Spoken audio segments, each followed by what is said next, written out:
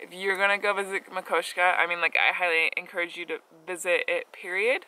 But if you can, like, either get up early and get there at sunrise, or, like, you know, wait a little bit later and be there at sunset because the colors were amazing. Lighting has so much to do with how we perceive the world, you know. Light is amazing. In May 2016, I made a decision to quit my job and hit the road for two and a half months. In total, I did 6,700 miles. I was gone for 70 days. This was my pilgrimage. Today is day 17 on the pilgrimage. I left Glendive on day 16, so I took the back way, which is the side road, farm road that basically goes to Fallon. And then from there, it's paved until you hit Highway 320, which is actually loose gravel until you get down to Mildred, which is actually pretty awesome. Mildred has a lot of abandoned buildings, which was super cool, and it looked like there was only like two families living in that town. There's no stores or anything, but there's a lot of abandoned buildings, and I think it should be considered a ghost town because it was super cool. And that's the amount of old buildings that I would expect to see at a town that was marked as a ghost town, you know? Right after Mildred, the highway highway went from loose gravel to this nice, hard, compact red dirt, which was awesome to ride on. So I could go about 50, but Lazarus is covered in a very thick layer of red dirt all over. Hi, bee. How are you doing? Don't sting me. Please? Thank you. Okay. I was so excited to see pavement. I rode for almost three and a half, four hours on dirt all day, which I mean, like I love old dirt roads, but it just come it becomes kind of stressful and hard on the body because you're tense the whole time. So I almost got off the bike and kissed the pavement when I got to Highway 12. By then, I was starting to run low on gas. My marker was already pointing at empty. I made it all the way to Plevna before she just lost power and sputtered and was like, can't go without the go juice. I walked to the bar.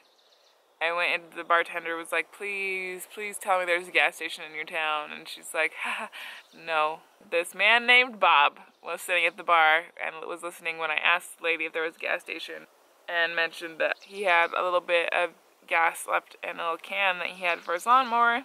And I was like, well, all I need is a gallon, really, because Baker was 12 miles away at that point, and they had gas station. He went to his house, which conveniently was right across the street from the bar, and got his little can, and it turned out to only be about half a gallon of gas. And I was like, that works. That will get me to Baker. So we drove back out to the bike and put the gas in, and I had like a nice little chat with him. He grew up in Rosebud. He's lived in eastern Montana his whole life. Just talking about how beautiful eastern Montana is, and it's amazing to watch the big clouds come in because they're huge and there's nothing to block your view of them. So they start from the horizon and like just take up the whole sky. It's amazing.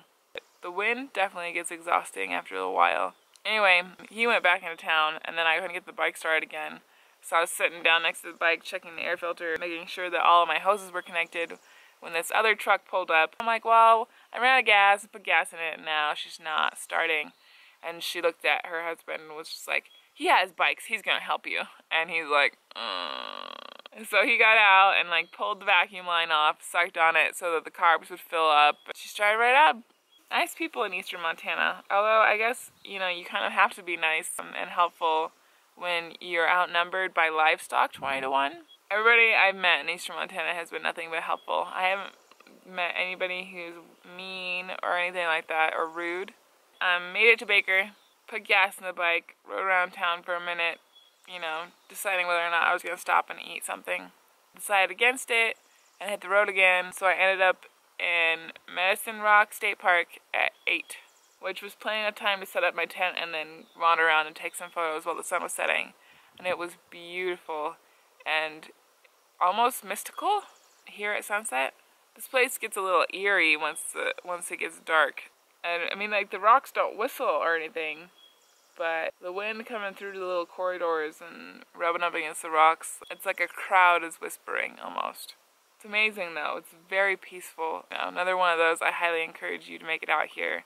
I met a lot of people on the way down here who, you know, this is within half a day's drive for them and they've never been here. It's crazy how you can live in one place for your for most of your life and not ever see the surrounding area basically. What are you doing? What do you do on the weekends? What are you what are you doing with your life? Not that I have a lot of room to talk. There are lots of places in the Bitter that I I haven't been. But Medicine Rocks is a state park. It's not like just like a little creek up the mountain or something like that. You got Montana state plates. You don't have to pay to get in or anything. I think I'm going to head towards the Billings area now. What is the day? Today is July 2nd, is Saturday. And so that makes Monday, 4th of July. This is the farthest east that I will be in Montana. So it's all downhill from here. Making my way back to the valley.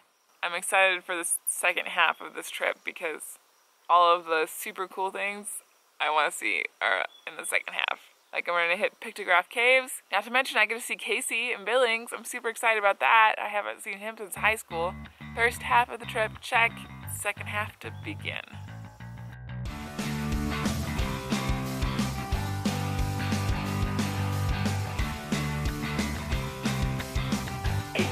It's a good day to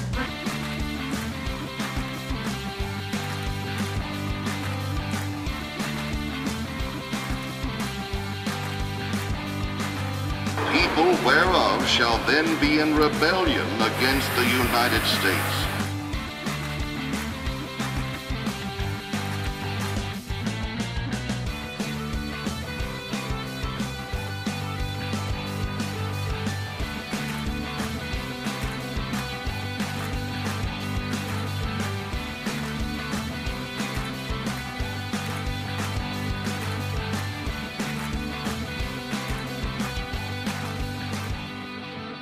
Also, do you like my new hat?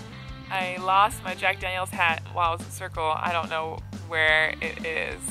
And I told Josh, he just gave me a nap hat. Napa raisin hat too. Those are hard to get nowadays. I have to add my Jack Daniels hat to the list of things that I've lost on this trip.